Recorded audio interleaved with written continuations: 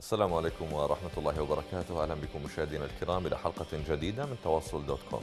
نعرض لحضراتكم أبرز ما تم تداوله على مواقع التواصل الاجتماعي والبداية من العناوين. في عنواننا الأول حماية المسؤولين تعتدي على بعض المسؤولين أحيانا وعلى المواطنين أحيانا أخرى.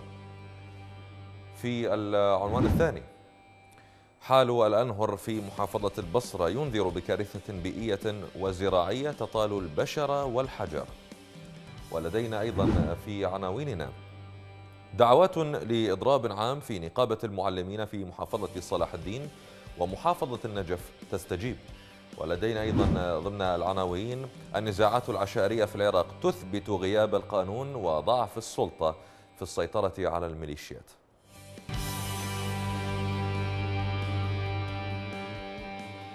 أهلا بكم خلاف كبير حدث داخل وزارة الموارد المائية بين النائب زياد الجنابي وبين حماية الوزير بعد منع النائب من قبل الحماية من الدخول ومقابلة الوزير دعونا نشاهد الا أسوي الا النواب ابو علي لا لا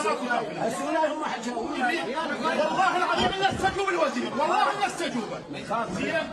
وقال المتظاهرين إذا صار لهم حصر ما صار لهم ضربوهم كلهم بالوزاره والله شو وين؟ يصير آه جايك جاي. نواب نواب ذول يمثلون الشعب. تعالوا تعالوا تعالوا ما مقبول على ما مقبول على هذا يقول الموظف اذا الوزير ما يجي خدماته هسه والله الوزير يستوي بالوزير والله هسه يطلعونه نفهم من هذا المقطع نقطتين مهمتين. النقطة الأولى هي الحالة العادية التي تعودنا عليها منذ بدء الاحتلال ومنذ قدوم هذه الشخصيات. حتى هذه اللحظة موضوع الحماية وموضوع ال- ال- الحرس الموجودون آه، بقرب الوزير بقرب المسؤول النائب أو غيرهم والذين يقومون بحمايته أحيانا حتى من من المقربين منه مما يوازونه في المنصب. لكن بطرق آه، غير دبلوماسية بعيدة عن الأعراف والتقاليد عن الاحترام. النقطة الثانية المهمة التي يمكن أن ننتبه إليها في هذا المقطع وهو حديث النائب عن تمثيل البرلمانيين للشعب. يقول بأنه نحن نمثل شعب نحن مم- ممثلون لشعب. بالضبط أو السؤال الذي يوجه طبعا لهذا النائب ولكثير من النواب ما الذي قدمتموه للشعب لكي تتحدثوا بتمثيله؟ ليس أنت فقط آه، زياد الجنابي أو غير. غيرك الكثير من النواب الموجودون الآن أو من النواب الموجودين الآن في آه، قاعة البرلمان. يتحدثون باسم الشعب وبمظلومية الشعب وبأن الشعب هو الذي أوصلهم إلى هذه المناصب لكن يهملون طبعا التزوير في الانتخابات ويهملون حال المواطنين الذين يعانون والذين يتحدث بهم هؤلاء النواب عن تمثيلهم. دعونا نشاهد الوجه الآخر من التعامل ما بين آه، الحمايات المسؤول ومن بين المواطن العادي. تابعنا كيف تعاملت الحماية مع النائب.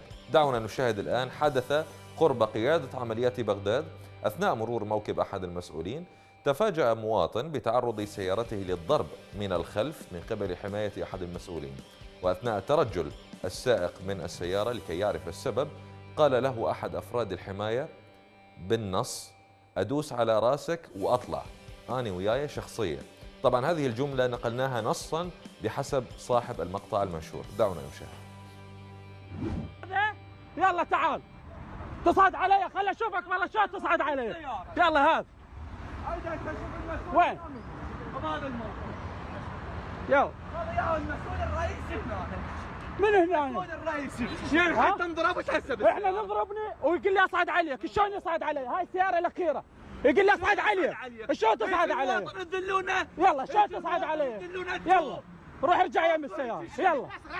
لا لا لا لا. أخي ماكو هالشيء أنا هسه هنا جاي أصور. ماكو هالشيء بهذه الطريقة وبهذه الألفاظ وبهذه الجمل وأحيانا بضرب حقيقي يتم الاعتداء على المواطن في حال لو فكر أنه يضايق السيد المسؤول الموجود الآن والذي يتجول أحيانا في الشوارع.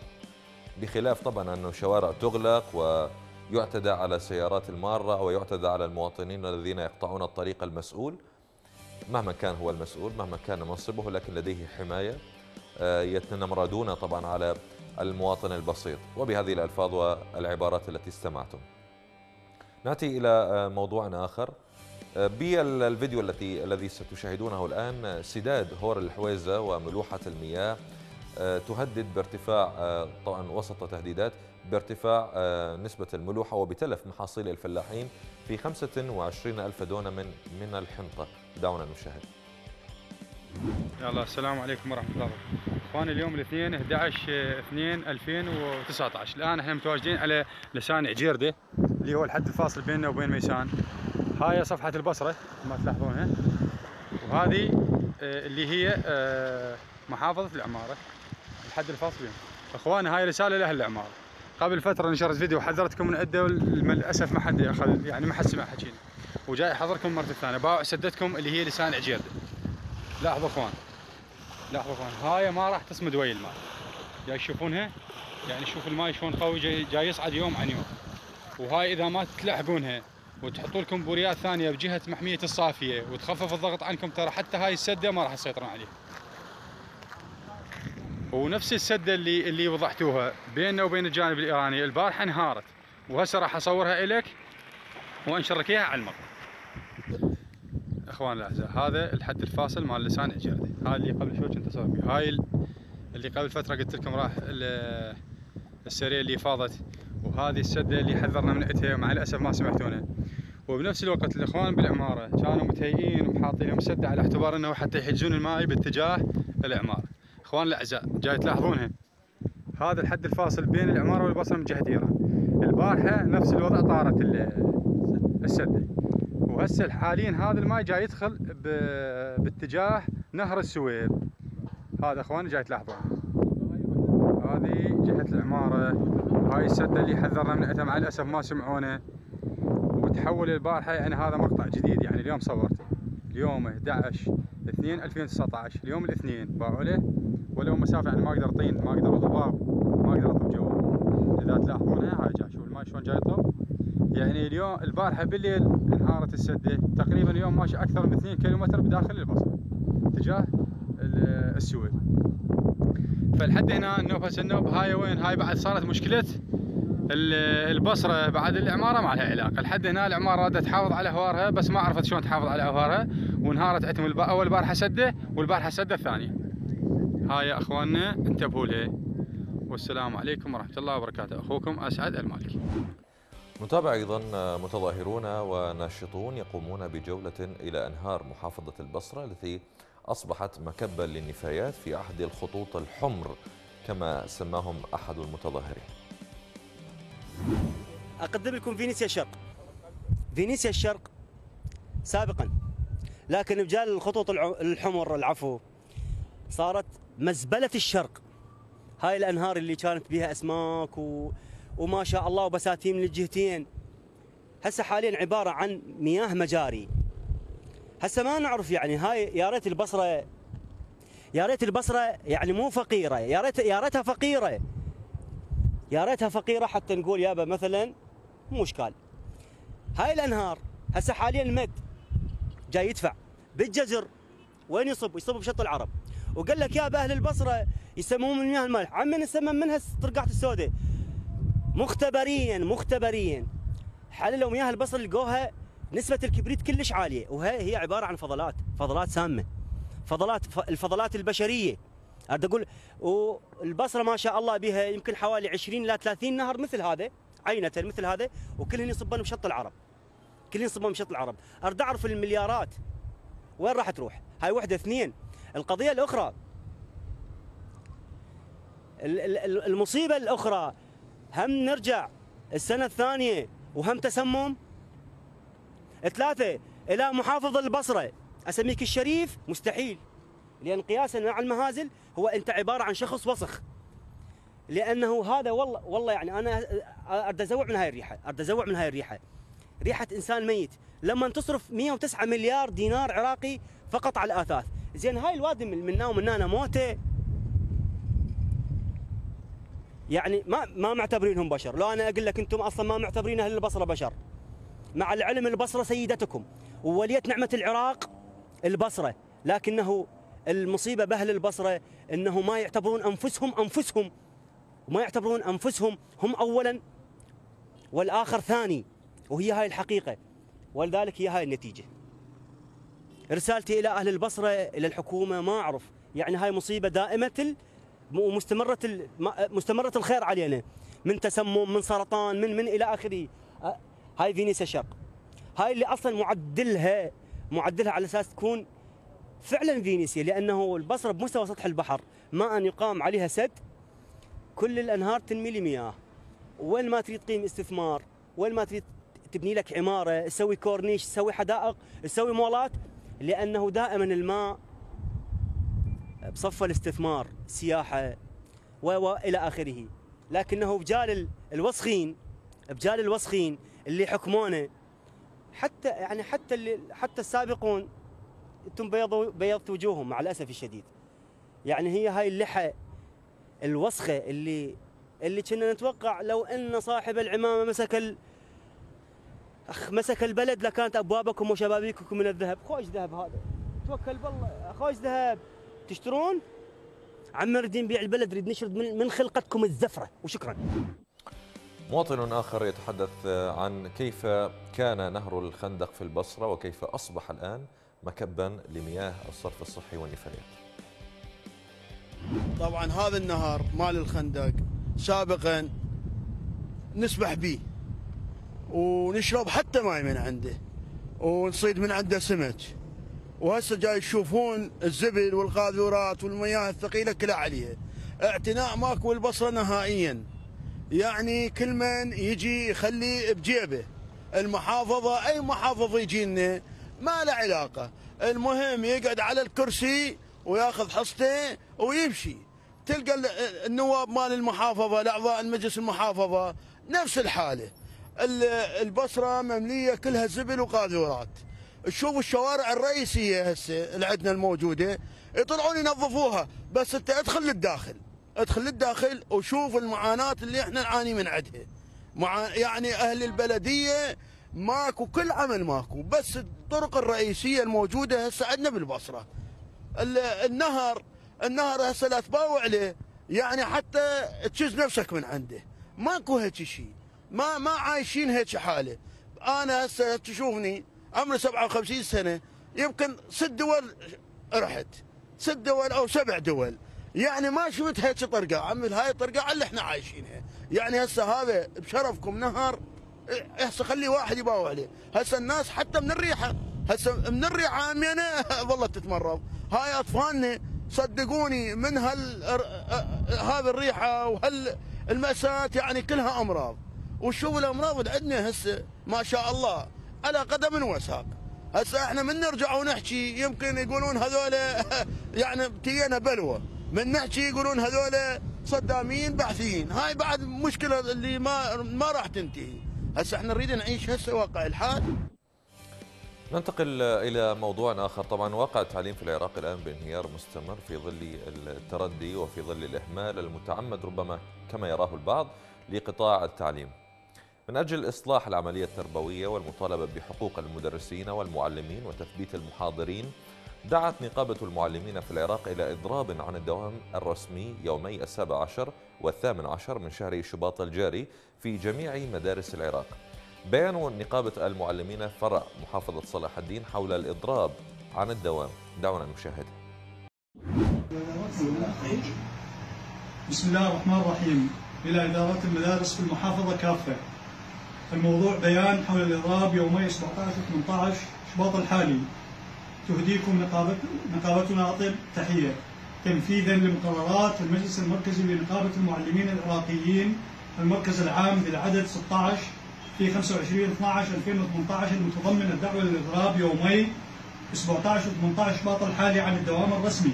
وكتاب المركز العام المرقم 141 في 7 2 2019 المتضمن اجراءات تنفيذ قرار الإضراب. ندعوكم إلى التعامل بجدية مع قرار الإضراب وتحمل المسؤولية كاملة من خلال الامتناع عن الذهاب إلى المدارس وليس التواجد فيها، كون ذلك سيشكل فهما خاطئا للقرار اعلاه. كما ندعوكم إلى التواجد في المقرات النقابية بالنسبة للقطاعات ومقر الفرع للسادة أعضاء الهيئة الإدارية. علما أنه سيحدد موعد لاحق لاجتماعات مركزية بعد يومي الإضراب لتقييم هذه الإجراءات واتخاذ القرارات الكفيلة باسترداد الحقوق المشروعة. راجين تعاونكم معنا وتفهمكم للقرار على خدمة للمصلحة العامة ومن الله التوفيق. الأستاذ مجيد عبد الله النجم رئيس فرع نقابة المعلمين في صرف طبعا نقابة المعلمين في محافظة النجف أعلنت مشاركتها في هذا الإضراب المقرر يومي السابع عشر والثامن عشر من شهر شباط الجاري. نقابة المعلمين فرع النجف الأشراف تعلن إضرابا عن الدوام يوم الأحد 17 ويوم الاثنين 18 إشباط 2019 من أجل انتزاع الحقوق. قرار نقابة المعلمين المركز العام ومجلسها المركزي سينفذ يوم الأحد والاثنين. سوف نقوم بتفعيل هذا القرار لنقابة المعلمين المركزية في العراق. نتكاتف لاستحصال حقوقنا المشروعة. معا معا للاضرار لانتزاع الحقوق. أخوتي وأخواتي زملاء المعلمين ملتقانا إن شاء الله في نقابه المعلمين فرع النجف الأشرف. مظلومية المعلمين تترجم في إضرابنا في يوم 17 18 لانتزاع حقوقنا الشرعية ممن حجبها علينا.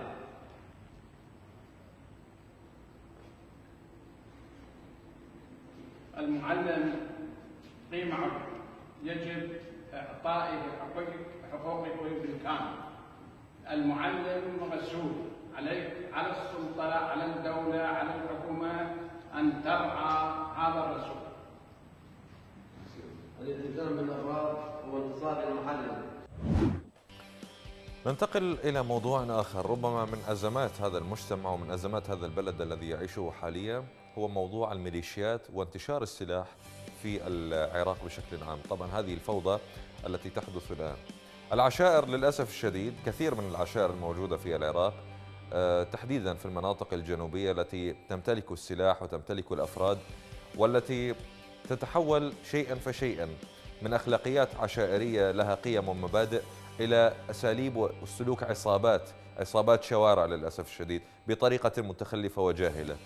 الدقة العشائرية هذا المصطلح رغم حديث السلطة عن محاولة منع انتشار السلاح والميليشيات لكن الميليشيات أصبحت أقوى من الدولة. طبعا أقوى من الدولة في إحدى مناطق بغداد. نتابع الآن إطلاق نار وترويع للمواطنين المتحدين الحكومة وقانونها في تجريم مثل هذا العمل لأن سلطة الميليشيات الآن أقوى من سلطة القانون في العراق كما يرى العراقيون. دعونا نشاهد. ديك! أنا ابو الحكومة لا أبو حتى أربع ارغاب ديك!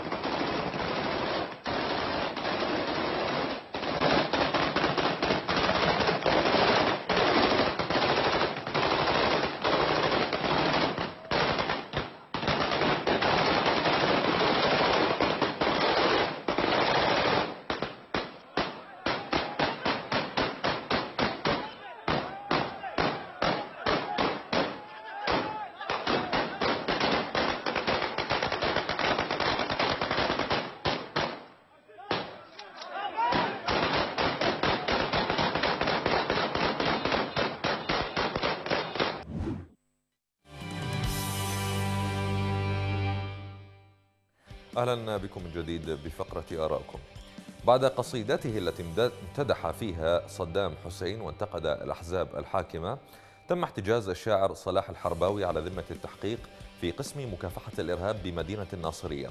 ومن المقرر أن يعرض اليوم أمام القضاء. يذكر أن مجلس القضاء الأعلى كان قد نفى في وقت سابق إصدار قانون تجريم تمجيد صدام حسين إلا أن هذا النفي يبدو إعلاميا فقط. دعونا نشاهد الصور بالنسبة للشاعر الذي آه، تم اعتقاله. هذا آه، هو الشاعر. طبعا بإحدى القصائد التي انتقد فيها الواقع المأساوي الذي يعيشه العراقيون وهذه آه، صورته طبعا بعد أن اعتقل.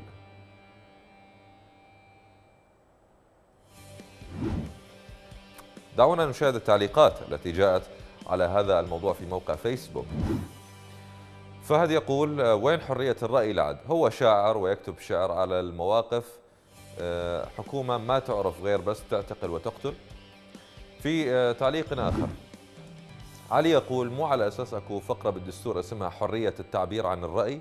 أشو عندنا اللي يحكي قبل يعتقلوه في تعليق آخر. حميد الأديب يقول رجل ما قال شيء مجرد انتقد الوضع الحالي وقال هناك قبل أمور كانت أفضل منها. الأمن وما شاكل ذلك. لكن وهذا لسان حال كل العراقيين.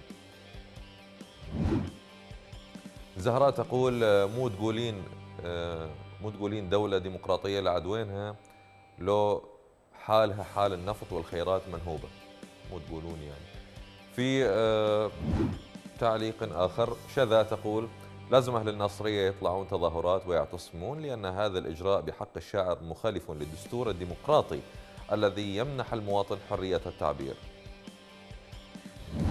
ولدينا رياض طائي يقول بس قادر القانون على الفقير وين الحرية والديمقراطية؟ من حقه يعبر عن رأيه. إذا كانت هذه التعليقات من المشاركين على موقع فيسبوك هذا جزء منها.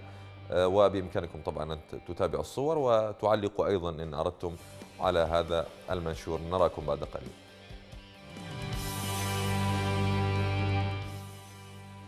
بفقرة الهاشتاج الوسم اليوم سيكون عن التعليم آه، في العراق. التعليم إلى أين؟ هذا هو الهاشتاج الذي انتشر والذي تفاعل معه الناشطون العراقيون.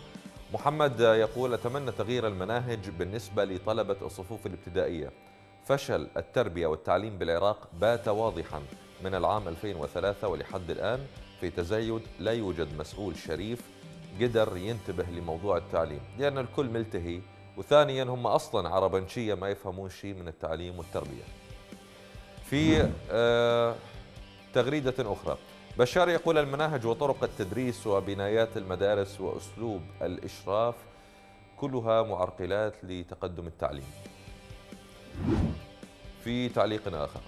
أحمد يقول إنقاذ البلاد يأتي من الاهتمام بالتعليم والمناهج لا وضع التعجيز وتدمير الأدمغة بمفردات غير تربوية. وفي آخر التغريدات لدينا محمد يقول النهوض بالواقع التعليمي من أهم الأمور التي تساعد في تطوير البلد. هذا طبعا واقع الحال يعني التعليم من أساسيات النهوض بأي مجتمع الثقافة والتعليم الجيد والصحة والقضاء طبعا العادل. هي مقومات مجتمعات دائما ما تكون. لكي تنهض هذه المجتمعات يجب أن يكون فيها عدل وأمان وصحة وتعليم. يعني هذه أساسيات الحياة التي تتوافر في كل المجتمعات المحترمة التي تعتني بمواطنها ليس كما العراق. نراكم بعد قليل.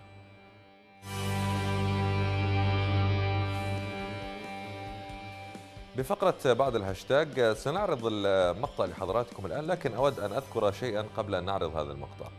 عندما كان تنظيم الدولة موجود في العراق وظهرت هذه الأمور التي تتعلق بتجنيد الأطفال شاهدنا انتفاضة من قبل السياسيين الموجودين في السلطة وقادة الميليشيات لكي يقولوا بأن تنظيم الدولة هذا التنظيم الإجرامي الذي يقوم بتجنيد الأطفال وزجهم بالمعارك.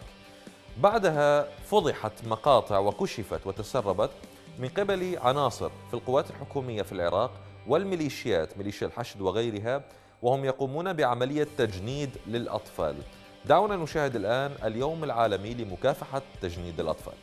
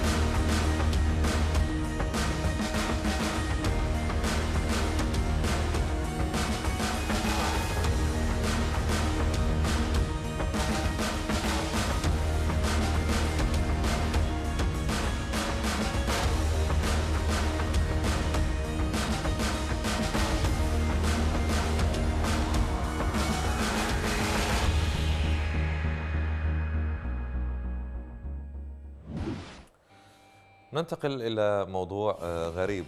مطعم يقدم وجبة واحدة. دعونا نشاهد.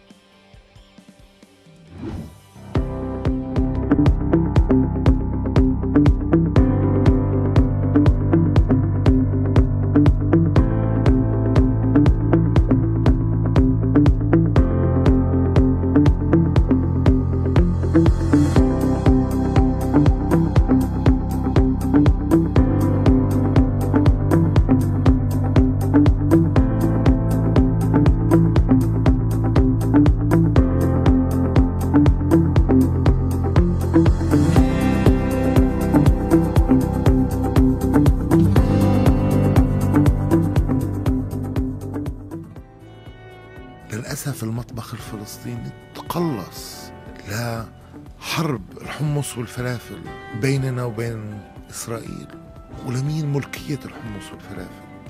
أنا برأيي مش مهم الحمص والفلافل المهم نبتة الخبازة ونبتة الهندبة والمهم مسخن والمهم السماك والعكوب واللبن جميد والمهم الطحينية. اليوم شفات الإسرائيليين بيقولوا الطحينية إسرائيلية لا هي فلسطينية الطحينية. وأحسن طحينية بالعالم موجودة بنابلس وبالقدس. هذا الهدف إنه إحنا لازم نرجع نفتخر بمطبخنا نفتخر بمنتوجاتنا. في الختام أشكركم شكرا جزيلا لطيب المتابعة وإلى اللقاء.